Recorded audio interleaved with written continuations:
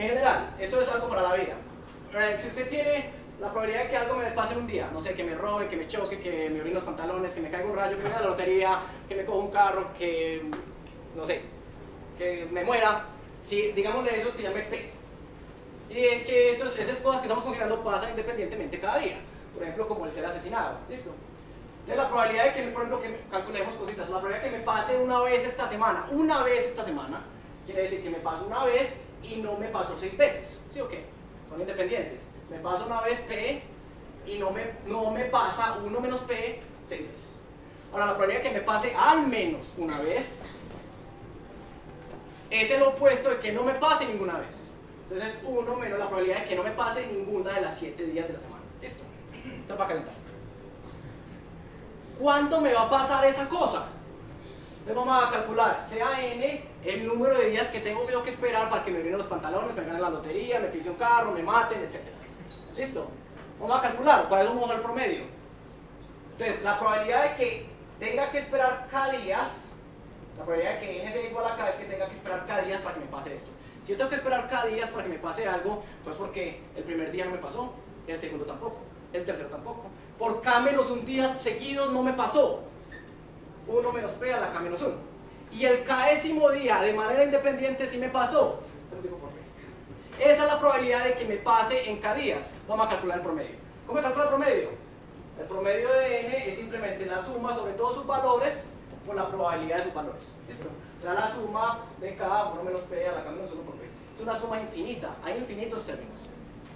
Una de las cosas mágicas que le enseñan a uno en la universidad, los que pudieron ver cálculo 2, es que así uno sume un número infinito de términos positivos, eso no tiene que dar infinito. Uno puede sumar un número infinito de, números positivos, infinito, nunca acabar, y lo sigue sumando, lo sigue sumando, y eso le puede dar algo. Les voy a ver, les voy a mostrar. ¿Cuánto va, cuánto da esa suma? Si yo sumo dos términos, me da esto, si yo sumo si yo sumo 100 términos me da esto. Ahora, si yo sumara un millón, ¿qué me pasaría? Pues aquí tengo 1 menos p, eso es un número menor que 1. A la 1 millón, eso es casi 0. Y tengo 1 más 1 millón p, es un número gigante. Pero esto es un número ah, despreciable con respecto a esto. Porque esto es una potencia, esto es lineal. Cuando yo sumo infinitos números, eso me da 1 sobre p. Moraleja, si usted con probabilidad un décimo le pasa algo todos los días, se va a demorar 10 días para que le pase.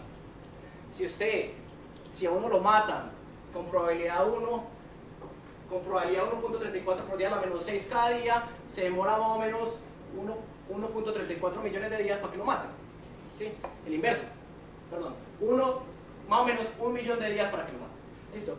El, el tiempo que usted tiene que esperar para que algo le pase es exactamente en promedio igual al inverso de la probabilidad de que le pase. ¿Sí?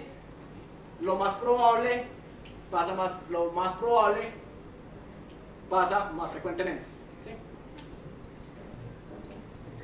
Algo más sorprendente, algo más especial.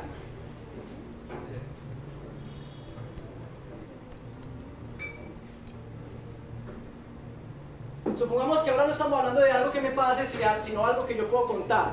Por ejemplo, no sé, el número de pelos que me salen en el pecho, la plata que me ganó hoy, eh, la plata que me ganó hoy, no sé, eh, el rendimiento en mi trabajo, mi nivel de felicidad, algo que yo pueda cuantificar algo, no sé, lo que quieras, no importa la distribución, lo que quieras.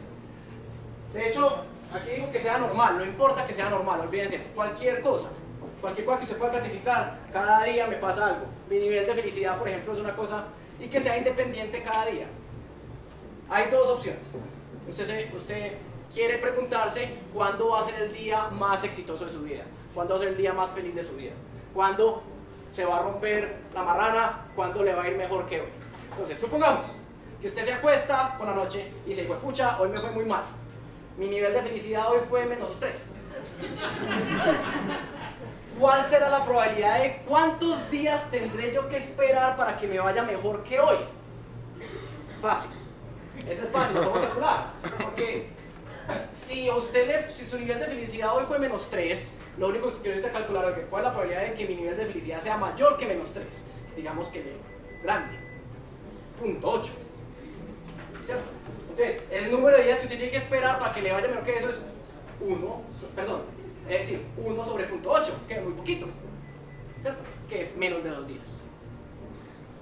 esa ya la habíamos visto. Ahora, paradójicamente, supongamos que usted se levanta por la mañana y dice, yo no sé cómo me va a ir hoy, no sé cuál va a ser mi nivel de felicidad. ¿Cuántos días tendré yo que esperar para que me vaya mejor que hoy? Aunque no sepa cómo me fue hoy. Aunque no sepa cómo, porque es por la mañana. ¿Cuántos días tendré yo que esperar por la mañana? No conozco cómo me va a ir los días que tengo que esperar para que sea un mejor día que hoy.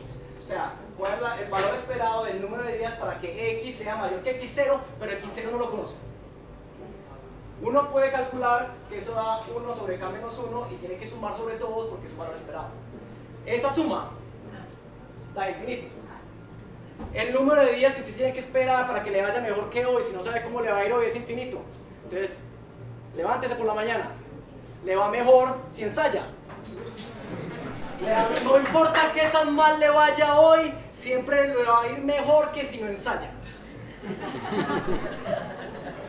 Así le vaya abismalmente mal, el número de días que tiene que esperar para que ya le vaya mejor, aquí es finito, aquí se puede, puede estar sentado. ¿Sí? Puede estar sentado.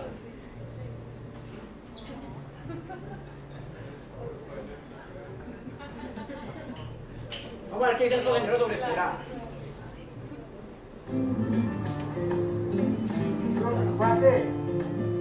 Yo, cuando me gano un chasecito, me da mucha alegría, pero a la vez me lleno de rabia porque yo quiero ganar más. Eso tan poquito. Con toda la plata que yo he metido, en esto y para, para ganarme un pequeño chancecito de, de 200, 300 mil pesos, ¿para qué? Yo hace 13 años me gané un chance de ahí para acá no entro a ganar. Lo que me gané lo invertí otra chance. Ahí queda. El último me lo gané, te voy a decir, tiene bastante tiempo ya. Tiene como más de 15 años y no he vuelto a ganar. Desde enero del año pasado, que me gané uno de 100 pesos, 456 mil y pico. Me compré unos zapatos y el resto por ahí en, en vacancia. El resto me voy pues a jugar que máquina con un amigo y a tomar cola. Sí, y, a, y el resto también ya sabe, ¿no? A falta. Chao, a ver si ganamos al fin. Inclusive ha caído con otros que la he hecho. Este man dice algo genial aquí en ese momento que dice que él, un jugador de chat experto, él tiene calculado cuánto se demora un número en caer. Esto, escucha. Me lo he ganado y lo dejo de hacer previamente porque yo sé que en un año, dos años vuelve a caer con la lotería y hay veces que me he descuidado y el día que, que más o menos sabe uno que puede caer, me, me, me he descuidado y ha caído. El señor cree que en uno o dos años, más o menos, póngale en 700 días, cada 700 días se repite un número. O sea, es decir, si, en promedio cada 700 días se repite un número, la probabilidad de que salga un número sería 1 sobre 700. O sea, le estaría jugando una, una rifa de 700 cifras. Pero no, le está jugando el chance. Que el chance tiene, aunque es muy complicado el chance porque es combinado, yo no sé cuánto, el chance no, la probabilidad de ganar no es 1 sobre 700. Quiero acabar con dos historias que tienen que ver con la probabilidad condicional. Que eso es algo, si somos malos para la probabilidad, somos perversos para la condicional. Eso sí, eso es difícil.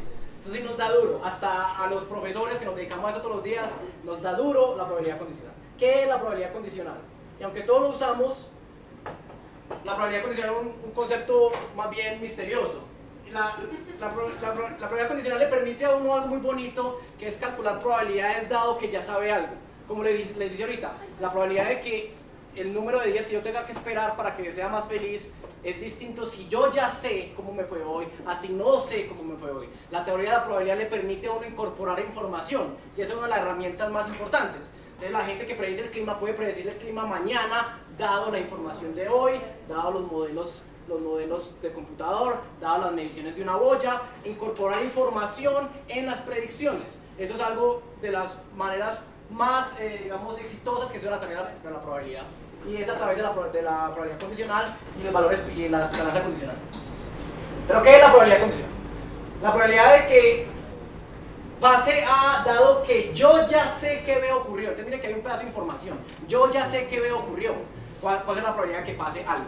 Listo, es muy fácil, es el número de casos en los que los dos ocurren dividido por el número de casos en que veo ocurre. Entonces yo cojo los que yo sé que pasaron y ese es mi nuevo total.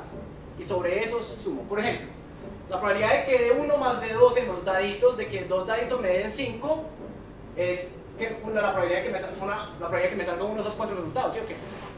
Pero me pueden salir 4 de esos resultados. Todo eso me dan 5 en mis dados. O 4, 1, 1, 4, 3, 2 o 2, 3. Ahí hay 4 resultados de 36 posibles. La probabilidad es 4 sobre 36 o 1 noveno. Ahora, ¿cuál es la probabilidad de que la suma de 5 si yo ya sé que en el primer dado me salió 1? Si en el primer dado me salió 1, la única forma de que haya suma 5 es porque en el otro dado me salga 4. Entonces, dado que yo ya sé que en el primer dado me salió 1, la probabilidad de que la suma sea 5 es un sexto. ¿Cierto?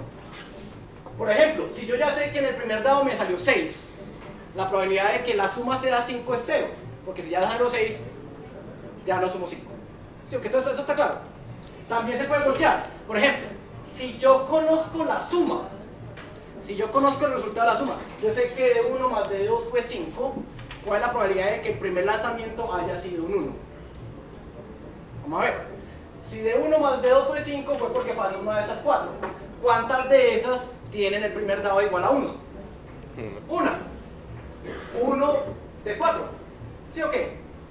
1 de 4. La probabilidad condicional. Calcular probabilidades condicionales no es fácil. Listo. Y hay un montón de cosas inesperadas. O una de las cosas que pasa con la, con la, con la probabilidad condicional es que a veces tenemos independencia.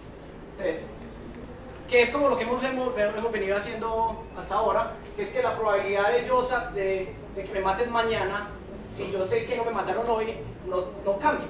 Si yo sé, yo tengo, nada de lo que me pase hoy tiene nada que ver con la probabilidad de que me mate mañana.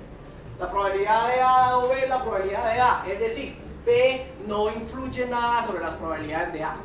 Por ejemplo, si yo sé que en el primer dado saqué 1, la probabilidad de que salga dado en el 5 es un sexto. No, no, no cambia. Es la misma probabilidad de que 2 sea igual a 5. ¿Listo? Les voy a contar por qué eso es importante. ¿Por qué somos malos nosotros en probabilidad condicional? Primero, un ejemplo absurdo. Yo tengo un amigo que le tiene miedo a las bombas en los aviones.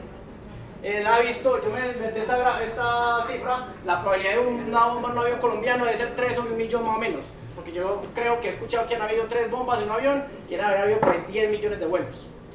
Póngale 3 por 10 a la menos 6. La probabilidad de que haya una bomba en un avión. Entonces esta persona, como es, a pesar de que la probabilidad está bajita, como le da mucho miedo, entonces dice, ok, yo sé que la probabilidad de que haya una bomba en un avión es 3 sobre un millón. Pero jamás he escuchado que hayan dos bombas en un avión. Entonces la probabilidad de que hayan dos bombas en un avión es cero. Entonces lo que hace el señor es, se monta con su bomba.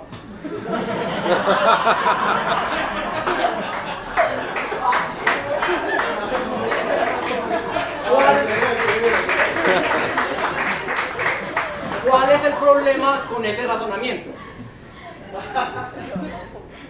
Es cierto que la probabilidad de que hayan dos bombas en un avión es cero. Yo creo que eso nunca ha pasado. Pero ¿cuál es el problema con ese razonamiento? Que es que el señor no sabe para calcular probabilidades condicionales. La probabilidad, él ya sabe que tiene una bomba. La probabilidad de que haya otra bomba, como él no conoce a nadie más del avión, es independiente. El evento de la segunda bomba es independiente de su primera bomba. Por tanto, que él ya sepa que cambió, tiene una bomba no le cambia las probabilidades de que haya una segunda bomba. Entonces el señor no sabe independencia. Listo. Pero es un ejemplo absurdo, pero vamos a, vamos vamos a ver otro. Más común. La probabilidad de que un fumador pesado, 5 cigarros contraiga cáncer de pulmón es del 24%. Y de hecho, a uno no le dan esa cifra así, se la dan así. La probabilidad de que, de que un no fumador tenga cáncer de pulmón es del 0.2% mientras que la probabilidad de un fumador tenga cáncer de pulmón es del 24%. Un incremento de 100. O sea, ustedes se multiplican por 100 las probabilidades de obtener cáncer. Entonces usted dice, no, fumar es malísimo. Entonces usted, la, la gente dice, mentira. Mi abuelita fumó hasta los 92 años. y se murió de risa. Eso no tiene nada que ver, porque es que el hecho que usted conozca que su abuelita no se murió de cáncer, ese evento es independiente de los otros. Esa información no le cambia las probabilidades de que usted o usted o usted se muera. Además, las probabilidades de que alguien se muera de cáncer de pulmón son únicamente el 24%. O sea, el 76% de la gente fumadora pesada que usted conoce no se va a fumar, no se va a, no se va a morir de cáncer de pulmón. O sea, el 76% de los casos, que son los que usted observa y los que utiliza para matar esta estadística, no sirven. No solamente son independientes, sino que es que no son la mayoría. No le están diciendo que con probabilidad uno se va a morir, sino únicamente con probabilidad 24%. ¿Listo? Entonces ahí otro ejemplo de, de, de independencia. Lo que usted observa no es, es, generalmente independiente de las estadísticas que observa. Y, y probablemente no tiene nada que ver. ¿Listo? Esta es una más dramática. Señora, ah, aquí no sé, bueno, yo digo que dice aquí. Esta señora eh, se llama Sally Clark, eh, es una señora inglesa. Ella en el 96 y en el 98 se le murieron sus recién nacidos. Se le murieron y eh, ella alegaba que se le murieron del síndrome de muerte súbita infantil. en el 99, a ella la metieron en la cárcel en el 98 y la acusaron de doble homicidio. Pasó tres años en la cárcel y nunca se pudo recuperar porque no solamente le murieron los dos niños, sino que pasó tres años en la cárcel. No sé, tuvo problemas psicológicos toda la vida, sigue... La forma en que esta señora la metieron en la cárcel fue la siguiente. El fiscal mandó a traer un, un psiquiatra, un, un pediatra y le dijo, señor, ¿cuál es la probabilidad en Inglaterra de que se muera un niño por este síndrome? Y le dijo, ah, hay muy buenas estadísticas. Uno en cada 8.500 niños se mueren de esto. ¿Sí? Ya listo. Entonces el fiscal le dijo, vea, señores del jurado, la probabilidad de que a esta señora se le hayan muerto los dos niños en secuencia es este número al cuadrado. O sea, 1.38 por 10 a la menos 8. Es absolutamente improbable que a esta señora se le hayan muerto los dos niños por ese síndrome. Y la condenaron por ese argumento, porque probaron después de, de la duda, al jurado le pareció que esto, este número era suficientemente bajo para probar que ya era una asesina. Después, a los años, un estadístico escribió una carta con lo que la falacia del fiscal. ¿Cuál es el problema ahí? No, el problema ahí es que esta gente está asumiendo independencia. Esta gente está asumiendo que la probabilidad de que se mueran dos hijos es la probabilidad de que se le muera el primero por la probabilidad de que se le muera el segundo. Y eso no es necesariamente cierto. No hay ninguna evidencia que diga que es que la muerte, porque no sabemos por qué mueren los niños de síndrome de muerte súbita, lo llama así, síndrome de muerte súbita, que no hay ninguna otra explicación. No sabemos por qué se mueren, ni mucho menos si, son, si una mujer, una madre, eso le pasa de manera independiente. Esa señora entonces después por eso la soltaron, pero quedó loca pues. Eso, porque la gente asume independencia cuando no la ve. Y por otra, por otra parte, cuando son eventos independientes no lo reconoce. Listo. Vamos a hacer el último ejemplo para irme. ¿Cómo te conocía algo Si tienen alguna pregunta.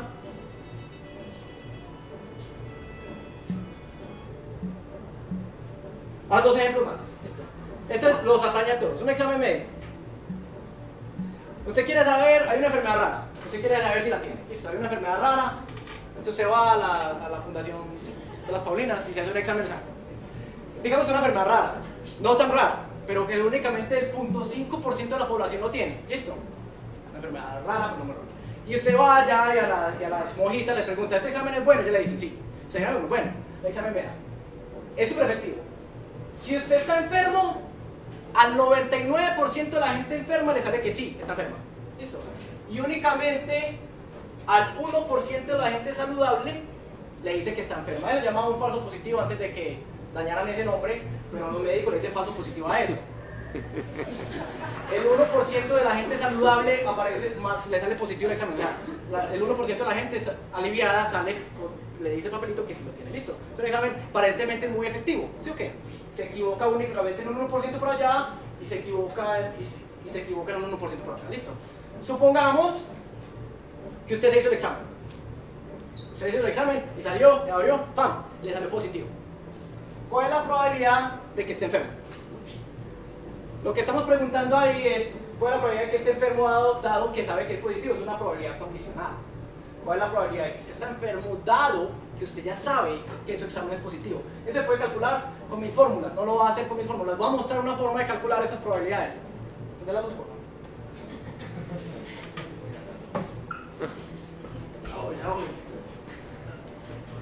Eso es algo que todos ustedes pueden usar para calcular probabilidades. Es mucho más fácil que saber probabilidad. Ya lo puso más por acá, es que lo voy a Pongan atención. Coja 20.000 personas. Coja 20, un número grande de personas, listo. Lo bueno es pensar en números grandes. Coja 20.000 personas. ¿Cuántos de esos, según eso, hay enfermos? Enfermos. El 0.5% de la población, ¿sí o qué? O sea, yo no sé, eso así. Hay 100 enfermos ahí, el 0.5% están enfermos. Si yo cojo 20.000, hay 100 enfermos. El resto no aliviados. Aliviados. 1900, no, 19.900. ¿Sí o qué? Ahora, estos enfermos se van a iniciar en su examen. ¿Es true? Eh, el 99% de la gente enferma le sale positiva, ¿sí o qué? Entonces aquí hay 99 personas que son enfermos y le salió positiva, muy bien. Al otro está enfermo y le salió negativa, ¿sí o qué? ¿Sí o qué? Ahora, esta gente se hizo el examen. Al 99% le salió positiva. El 99%, eh, perdón, al, están aliviados. Están aliviados. A la gente saludable le sale positivo únicamente el 1%. Entonces al 1% de esa gente le sale positivo. El 1% de eso yo lo calculé es 190, ah, 199. 199%, 199 personas aliviadas que le salió positivo. Al resto, 1990. ¿Ok? Yo tengo 20.000. No, porque es el 1%. Me parece que ahí sobre un cero. ¿Dónde me sobró Un cero, Aquí. Ya. Así. Perdón. Yo soy malísimo para la multiplicación. Eh, a estos están aliviados y les salió positivo, ¿sí o qué? Al resto, el resto yo lo hice en una calculadora, son 1701 que son aliviados y les salió negativo, ¿listo? ¿Está bien? Ahora sí, ¿cuál es la probabilidad de que usted esté enfermo dado que le salió positivo? ¿Cuánta gente le salió el examen positivo? 200, ¿cierto? ¿Cuánta gente hay enferma? 99. ¿Cuánta gente? Ah, eso es negativo, eso es negativo, eso es negativo. ¿Cuánta gente hay positiva? Entonces la probabilidad, escribámosla. La probabilidad de que usted esté enfermo, dado que le salió positivo, es. ¿Cuánta gente hay positiva? 199 más 99. 300. 200 más 100, ¿sí o qué? 300. Póngale 300. ¿Cuánta gente de esas está enferma? Te estoy pensando acá, que son los positivos, y acá, que son los positivos. ¿Cuántas de esas están enfermas? 99. Póngale 100. Un tercio. La probabilidad de que usted esté enfermo es un tercio. El examen le salió positivo. El examen le salió positivo. Aquí dice que está enfermo. Es un examen con un 99% de efectividad en ambos casos, para falsos positivos y para falsos negativos. Pero la probabilidad de que usted esté enfermo es únicamente un tercio.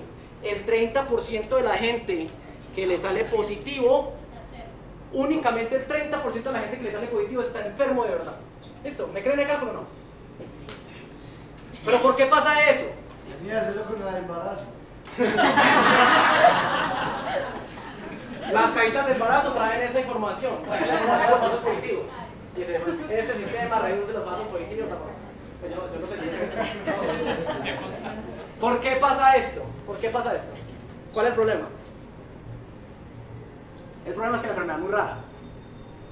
Para una enfermedad tan rara, su examen tiene que ser astronómicamente bueno para que funcione.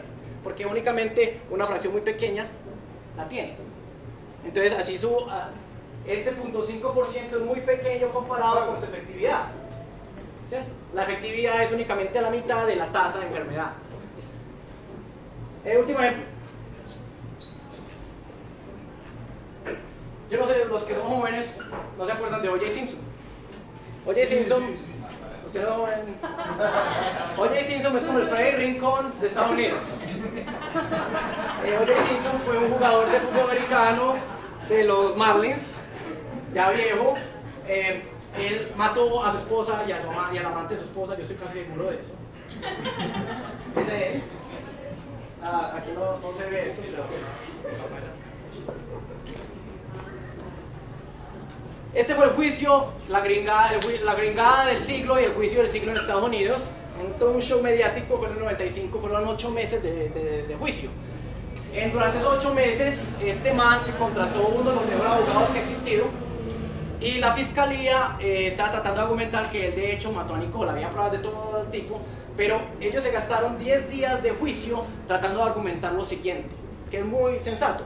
Decía, este man era un pato, ese man abusaba a Nicole, eh, la, la jalaba, le pegaba, la, insultaba en público.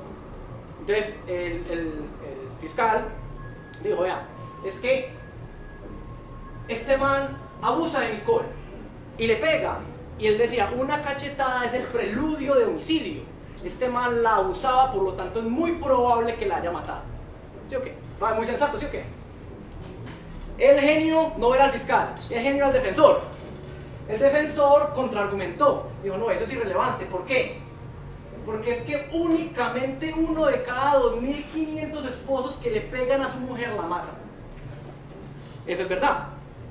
De todos los, de todos los abusadores de su esposa, únicamente uno en 2.500 llega a matarla. Entonces lo que le está diciendo ese señor, la probabilidad condicional que le estaba diciendo es que, dado que el esposo abusa de su esposa, la probabilidad de que el esposo la mate es muy chiquita, uno en 2.500. Eso no es suficiente para, para meter a la cárcel a este man. Y no lo metieron a la cárcel. Años después, en una carta, un profesor de estadística se dio cuenta de lo obvio, bueno, no tan obvio, que es que esta es la probabilidad condicional que no se debe preguntar. Es que usted ya sabe que a Nicole la mataron. Lo que hay que calcular es, dado que el esposo abusaba y que alguien la mató, ¿cuál es la probabilidad de que el esposo haya sido el asesino? Esas son dos probabilidades condicionales totalmente diferentes. ¿sí? A esta gente le metieron este número a la boca, al jurado, que no era pues, profesores de estadística ni nada, le metieron este, esta frase y el fiscal no fue capaz de responder. Fue únicamente después que dijo, no, es que esa no es la probabilidad, que hay que calcular, la probabilidad es esta. Bueno, ¿cuánto da esa probabilidad? Vamos a calcularlo. Regala los- No, para eso estamos, para eso estamos. Ya borramos.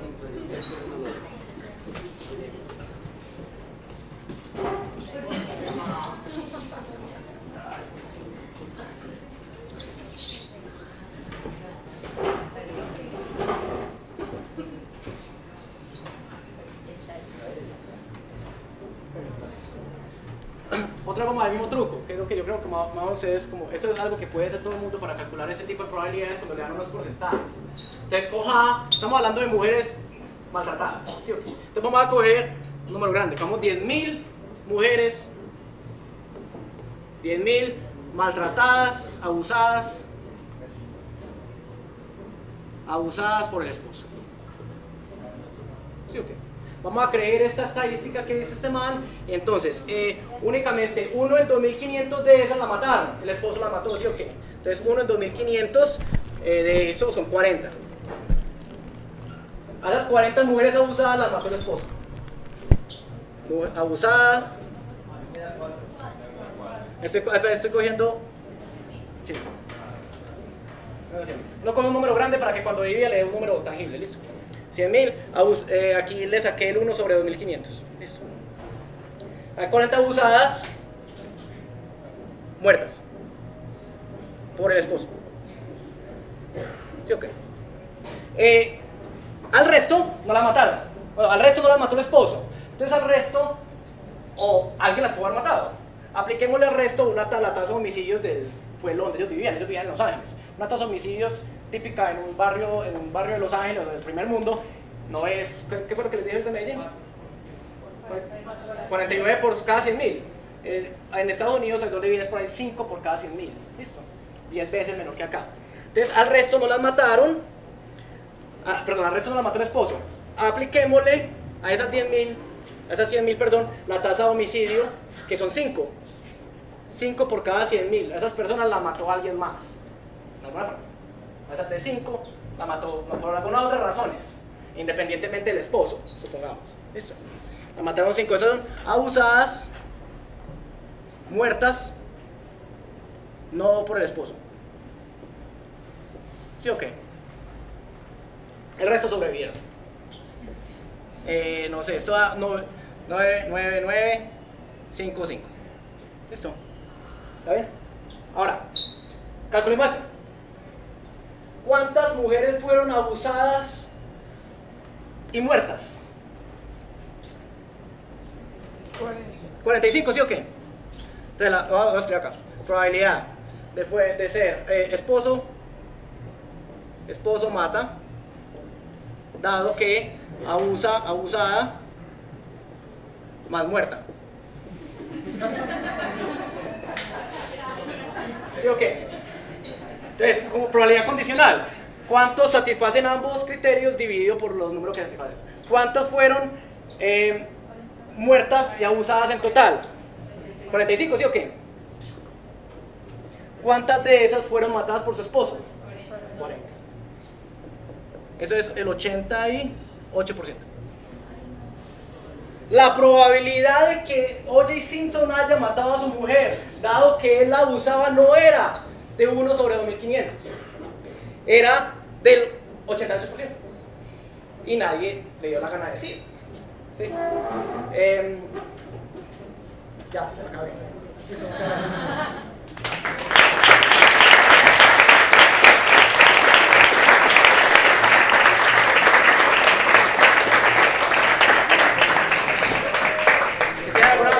Pregunta, quieren discutir algo más,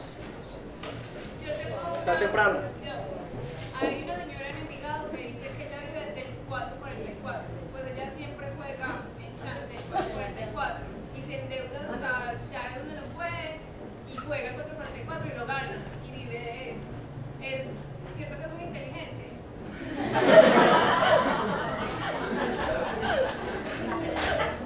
Eh, como lo que hablamos ahorita, la probabilidad que exista una persona que le pase eso es muy alta.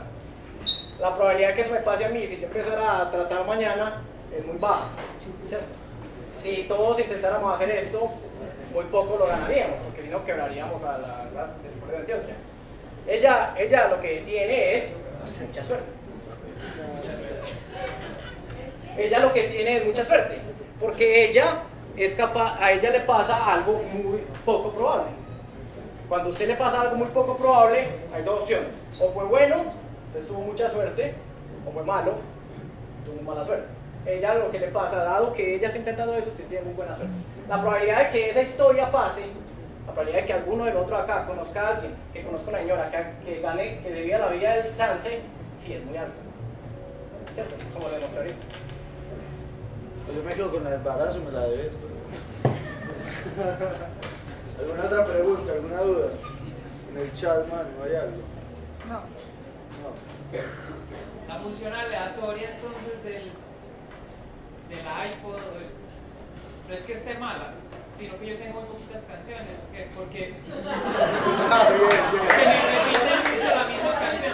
No, lo que pasa es que esa gente, es que no es aleatorio. Hay un botoncito donde usted puede, o sea, esa gente hace algo inteligente, que ellos creen que es inteligente, es que ellos no hacen lo barato. Ellos no cogen 10.000 canciones, probabilidad de próxima canción, 1 en 10.000, no. Ellos sacan correlaciones y, saca, y tratan de calcular cuál es la probabilidad, cuál es la canción más probable que usted quiere escuchar después, dado las que ha escuchado antes. Eso ya es otro problema. De pronto, de pronto lo que puede pasar es que tu patrón de canciones que te gustan está enloqueciendo y Eh, pero Dani, yo tengo una teoría distinta. Pues yo cuando estuve en la tesis tuve un problema de generar número aleatorio computacionalmente Ajá. y no es fácil. No es fácil. No es fácil. Entonces yo siempre he pensado que lo del iPod es el mismo problema. No, eh, eh, que digamos- generar un número que te traiga una canción aleatoria no es fácil. Eh, generar un número aleatorio en el computador no es fácil, pero es muchísimo más fácil que hacer un iPod. O sea, Apple ya resolvió el problema. O sea, eh, eh, eso lo venden, eso te lo venden en paquetes y bajo diferentes pruebas, eso tiene las normas Icontec. Las normas Icontec, las normas Icontec del mundo tienen eh, distintos generadores de números aleatorios que satisfacen distintos cientos de pruebas estadísticas. Yo estoy, eso es tan fácil, eso ya viene eh, tan programado tan fácil, esos procesadores tienen tanta capacidad que estoy seguro que el iPod utiliza un, un sistema, buen pues, un sistema, buen sistema de pues. generación de, de números aleatorios.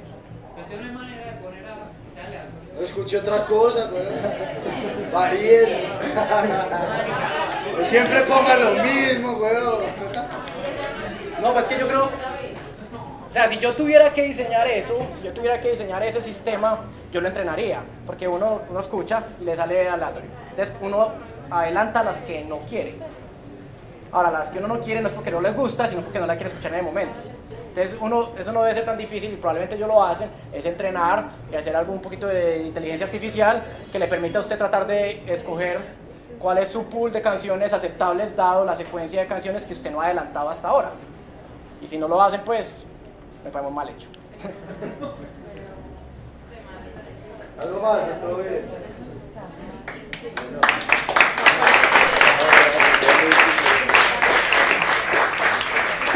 Bueno, como siempre al final invitarlos a lo que queda esta semana. El jueves tenemos al estudiante, ahorita no dije el nombre, es Adrián Pérez. Él va... Uy, no, pilas con ese... Espérate. Hay que bajar el... No, no, no, bájame, bájame que está ahí.